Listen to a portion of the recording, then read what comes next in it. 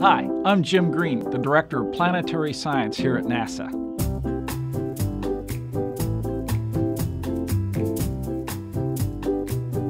OSIRIS-REx is an opportunity to go back in time and visit an asteroid called Bennu. Bennu is a very primitive object created at the birth of our solar system. OSIRIS-REx is going to go there, orbit Bennu for more than a year, and bring back a sample.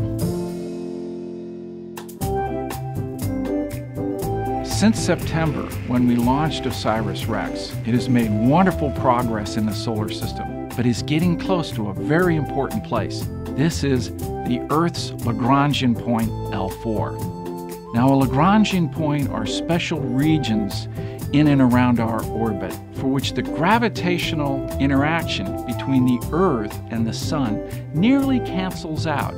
This allows an object to be trapped and remain in that location.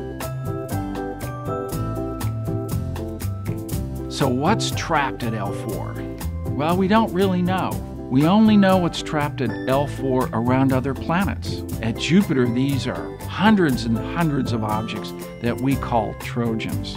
And so at Earth's L4, if we find anything, we'll be calling them Earth Trojans. Now, what are Trojans? Well, these are small bodies caught in this orbit for billions of years. The Earth has swept up all kinds of material to be created as we know it today. And what's left are those things that are sitting at L4. That's what makes it really exciting to be able to go there. And OSIRIS-REx is nearly there. Beginning February 9th, OSIRIS-REx is going to turn on its scanning camera. It's going to scan the areas, it's going to look for these objects.